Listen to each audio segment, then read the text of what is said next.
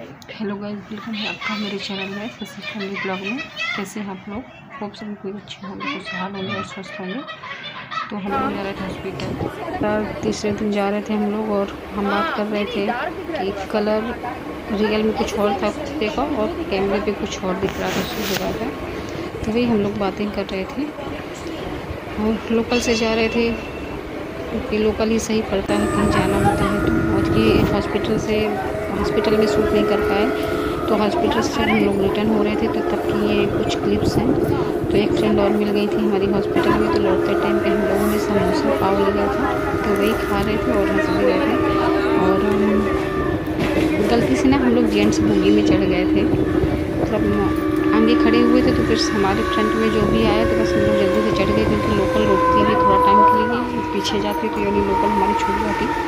तो हम लोग जेंट्स बोगी में ही चढ़ गए थे। बस समोसा पाव खा रहे थे और हंस रहे थे हम लोग। उसके बाद इवनिंग में मेरे घर के बाजू में ही एक मतलब मेरी फ्रेंड है उनको छोटा बेबी अभी हुआ है। छोटा सा देखिए आप लोग देख सकते हैं। तो उनकी छठी की पूजा थी।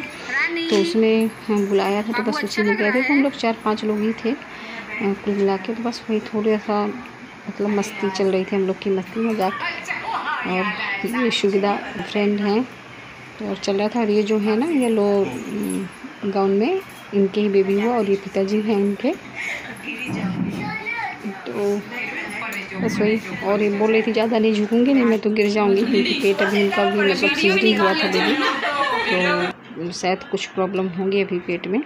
और आंटी बैठी हैं, हमारे बाजू में रहती हैं आंटी और ये एक फ्रेंड है सैम की और ये ये उनकी भाभी है जो रेड दुपट्टे में है ना तो उनकी मामी है जो भी बेबी हुआ है।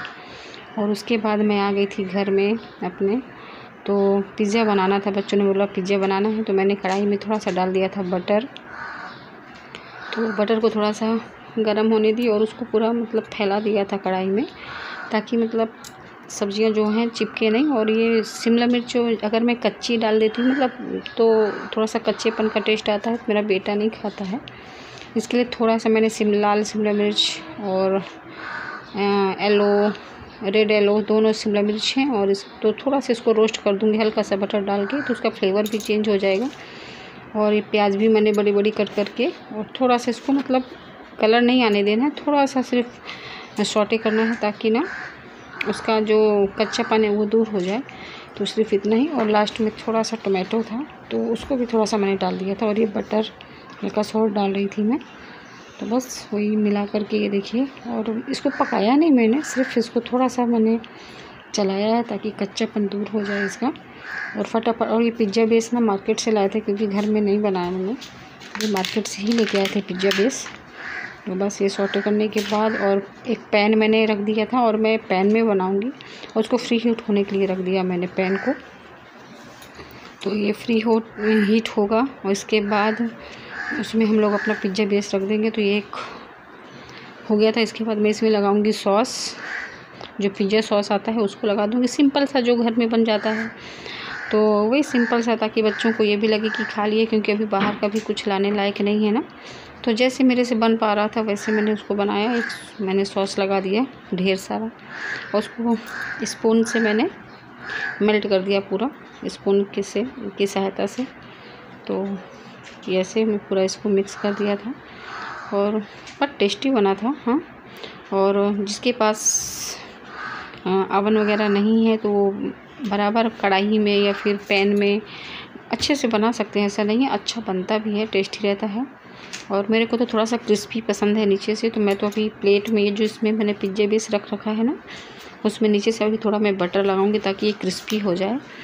तो ये देखिए पूरा मैंने सॉस अच्छे से मैंने मिक्स कर दिया है पूरा।